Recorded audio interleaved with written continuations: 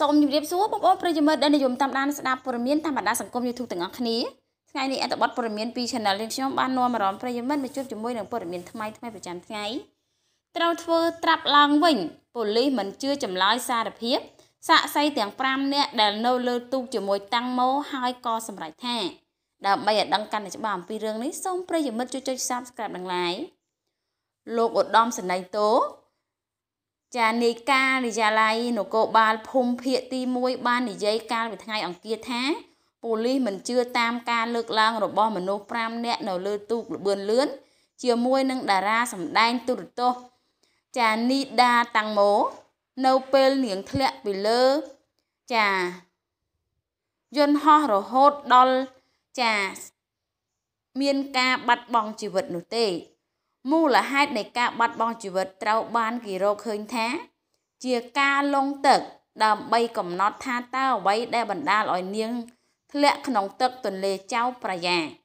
ថាខ្លួនឯងឬអ្នកផ្សេងនោះត្រូវការពេលវេលា លោកបានបន្តថាចំពោះការលើកឡើងនោះមនុស្ស5នាក់នៅក្នុងទូកនោះប៉ូលីសមិនជឿទាំងស្រុងនោះទេ តារាស្រីរូបនេះត្រូវបានគេរាយការណ៍ថាបានទៅកាន់ទូកខាងក្រោយដើម្បីបន្ធូរអារម្មណ៍ពេលនាងធ្លាក់ចូលក្នុងទឹកកាលយប់ថ្ងៃប្រហោះសាកសពរបស់នាងត្រូវបានគេរកឃើញនៅរសៀលថ្ងៃសៅរ៍មនុស្ស5នាក់ទៀតក៏នៅលើទូកដែរមានដូចជាកតិអ្នកគ្រប់គ្រងតាំងម៉ូសែនជាមិត្តភ័ក្តិរបស់តាំងម៉ូចប ព្រមទាំងមានចាប្រូហេរ៉ូចាសំទោសប្រូហៃរ៉ូនិងលោកចាតានូបេតម្ចាស់ទូកដែលជាអ្នកបើកបរត្រូវបានចោទប្រកាន់ពីបទបើកកប៉ាល់គ្មានអញ្ញាប័ណ្ណនិងការធ្វេសប្រហែសនាំឲ្យមានមនុស្សបាត់បង់ជីវិត កាលពីថ្ងៃអង្គារពួកគេត្រូវបានស្នើឲ្យធ្វើការពិនិត្យរាងកាយ ឧត្តមសេនីយ៍ឯកបាននិយាយថា ជាពិសេសលោកចានីតាដែលត្រូវបានរកឃើញក្នុងអំឡុងពេលសម្ភាសជាមួយនឹងប្រព័ន្ធផ្សព្វផ្សាយកាលពីថ្ងៃច័ន្ទថាមានស្នាមរបួសនិងស្នាមជួមខ្លះគាត់បាននិយាយថាពួកគេត្រូវបញ្ជូនទៅពិនិត្យសម្លៀកបំពាក់ដែលពួកគេពាក់ពេលធ្វើដំណើរតាមទូក មានតែលោកនីតៈប៉ុណ្ណោះដែលត្រូវគេរកឃើញថាមានស្នាមកោសនិងស្នាមជាំនេះបើយោងតាមវិជ្ជបណ្ឌិត ដែលបាននិយាយនៅក្នុងសន្និសីទកសែតរបស់ប៉ូលីសកាលពីថ្ងៃអង្គារទោះជាយ៉ាងណាក្តីវិជ្ជបណ្ឌិត បានកំណត់ថាស្នាមឆ្កូតនោះមិនត្រូវបានប៉ះពាល់ដោយក្រចកមនុស្សឬបណ្ដាលមកពីការតស៊ូនោះទេ ដោយបន្ថែមថាស្នាមនេះមានអាយុប្រហែលជា5ថ្ងៃឬទៅមួយសប្តាហ៍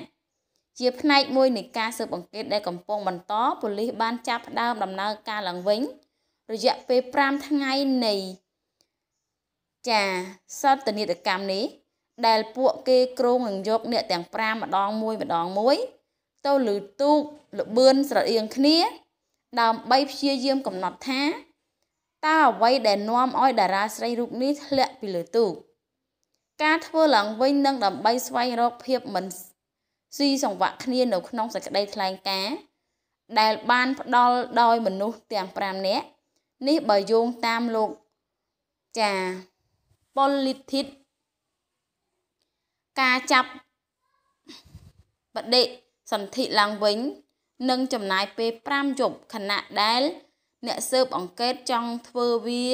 នៅពេលដូចគ្នានៅនឹងសតនិកម្មដែលមានសាកសីតែម្នាក់នៅលើទូករាល់យប់ឧត្តមសេនីយ៍ឯកបាននិយាយទៀតថាសេចក្តីថ្លែងការណ៍ដែលផ្ដល់ដោយសាកសី4នាក់ដែលនេសាទនៅក្នុងទន្លេនឹងត្រូវបានយកមកពិចារណាជុំវិញរឿងនេះដែលងាកមកចាប់អារម្មណ៍នៅក្នុងការសម្ភាសកាលពីថ្ងៃទី27ខែកុម្ភៈ ឆ្នាំ2022កន្លងទៅ អ្នកចាត់ការផ្ទាល់របស់ទាំងម៉ូនាងកតិនិងអ្នករួមដំណើរនៅលើទូកជាច្រើននាងសែនត្រូវបានគេស្រង់សម្ដីយកមកធ្វើជាវីដេអូត្រាប់តាមបែប 3D ដើម្បីបកស្រាយនិងពន្យល់ហេតុផលទាំងមូលក្នុងនោះវីដេអូបានបង្ហាញឲ្យឃើញថាតារាស្រីតាំងម៉ូបានដើរទៅចុងទូករួចតោងជើងសែនដើម្បីបត់ជើងតូច តែគ្រាន់តែបត់ជើងហើយភ្លាម នាងក៏ងើបឈរឡើងរួចក៏ស្រាបតែផ្ងាក្រោយធ្លាក់ទៅក្នុងទឹកតែម្ដង ហើយចំណែកសែនក៏បានស្រែកហៅការពីសភមឿងនន្ទបុរីណា